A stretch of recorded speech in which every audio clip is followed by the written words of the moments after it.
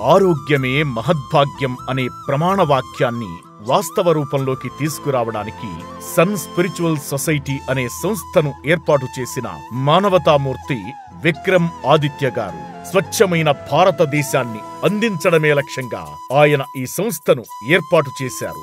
రెండు వేల ఇరవైలో అధికారికంగా ప్రారంభమైన ఈ సంస్థ ద్వారా ఆరోగ్య భారతదేశానికి ఆహారమే ఔషధంగా పనిచేయాలని సాత్విక ఆహారంలో ఉన్న శక్తి అందరికీ తెలియజేయాలన్న సంకల్పంతో వెజిటబుల్ థెరపీ అందరికీ పరిచయం చేశారు. కూరగాయలతో వైద్య విధానంలో భాగంగా మనం తీసుకుంటున్న ఆహారంలో ఉన్న ఔషధ విలువల్ని తెలియజెప్పడమే కాకుండా ఏ ఔషధానికి ఏ శక్తి ఉందో తెలియజెప్పడమే ఈ వెజిటబుల్ థెరపీ ముఖ్య ఉద్దేశంగా రూపొందించారు. మనం తీసుకునే ఆహారమే మన వ్యాధులను రూపుమాపుతుందని తెలియజెప్పడం కోసం ఈ వెజిటబుల్ థెరపీని సన్ స్పిరిచువల్ సొసైటీ ద్వారా ప్రజల్లోకి తీసుకెళ్ళడం కోసం విక్రమ్ ఆదిత్య గత మూడు సంవత్సరాలుగా కృషి చేస్తున్నారు. తన ఈ కృషిలో లక్షలాది మందిని ప్రభావితం చేసిన ఘనత ఆయనది.